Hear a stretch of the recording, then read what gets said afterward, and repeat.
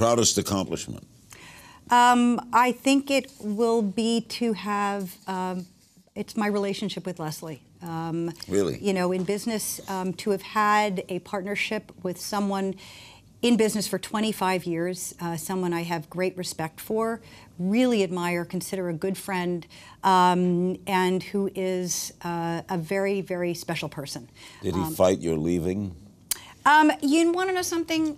I think we are so close that he knew that it was time, and he. Um, it was a very emotional uh, moment for both of us. Uh, you know, rarely, and you know this business better than anybody, and and to have a relationship with one partner in show business for as long. I mean, I've been married for 32 years, so mm. you know, next to my husband, it's been Leslie, and um, I'm very proud of that. I'm I'm very proud of what what he's taught me. I'm very proud of of the opportunity he's given me, um, and I, I I really cherish that.